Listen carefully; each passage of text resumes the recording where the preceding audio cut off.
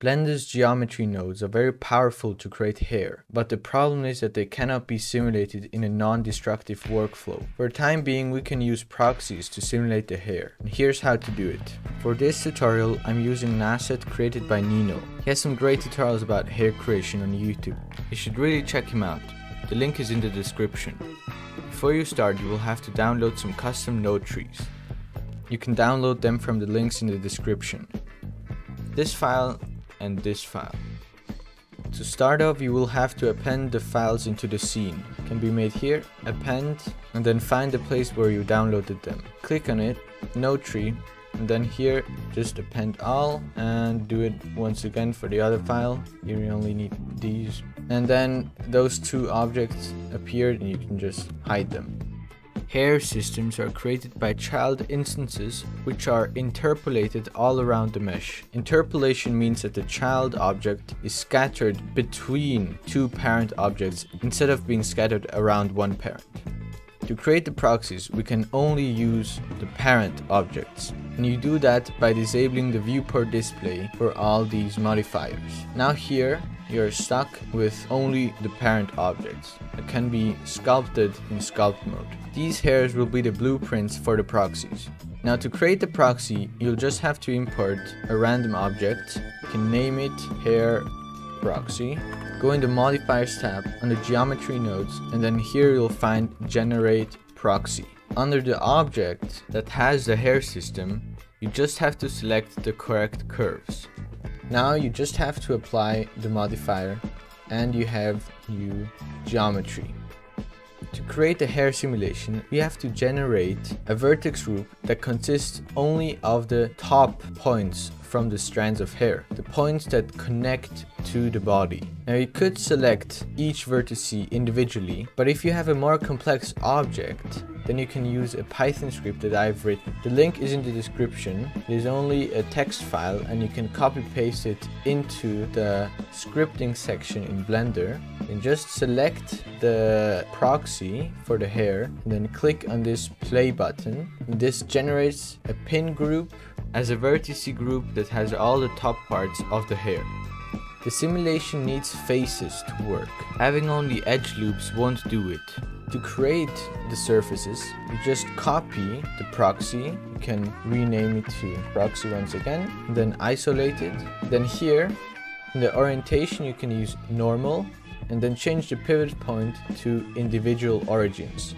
Then if you select all, you can extrude them on the x-axis. What I'd like to do is have the parent hair be in the middle of the face. So you can just invert the selection and then move it along the x-axis. Something else you can do is add a material and down here in the viewport display, make it colorful so that you can see it in the viewport. And for the render settings, go to the object panel and under ray visibility, disable all of these so that it won't show up in any render. And now you can create the cloth simulation. Under the physics tab, click on cloth. Here you can change the quality subset. 5 works because it doesn't really have a lot of detail here but I like to do 10 but you can just play around here and the important thing is you select the pin group and then enable self collision and on a distance it's better to have 0.001 in this section here and in this section. It just makes the hair strands collide more closely to each other. Now because it takes a long time to play in the viewport, I would recommend to bake it first. You can do this for 150 frames or so. After the bake is finished, you will see that nothing really happens. They just dangle around because no other force has been added to the scene. Now you can either have an object that collides with it or, or have wind that gusts against it or just to have the object here move around. Next you have to bind the first proxy to this simulation. You do this by going on surface deform, applying this and then just bind and you can test it, it works. Those strands here are the curves from the hair. And now the same thing for the hair.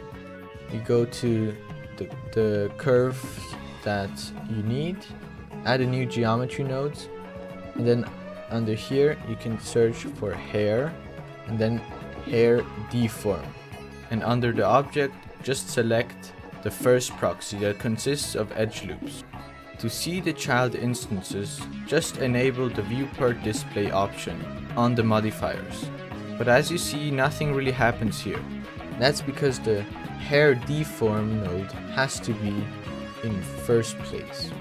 And like that, you have simulated hair.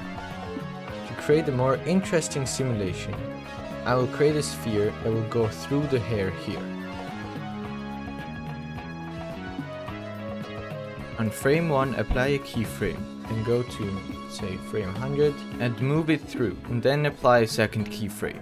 Here you can click V for vector so that the animation is linear like that.